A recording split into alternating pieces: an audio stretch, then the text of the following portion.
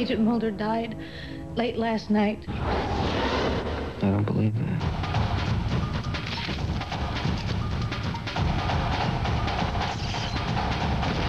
So you're saying this has all been orchestrated? A hoax. It leads right back to the FBI. The new series. If they lie to us, we can lie to them. A lie to find the truth. Coming soon to BBC One. The X-Files.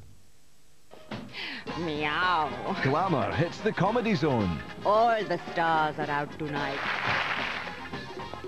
Rab, darling. It's no PC to be PC anymore. It's the gorgeous Sean Hughes. The Comedy Zone. Friday from 9 on BBC Two. I'm off to the Buzzcocks party.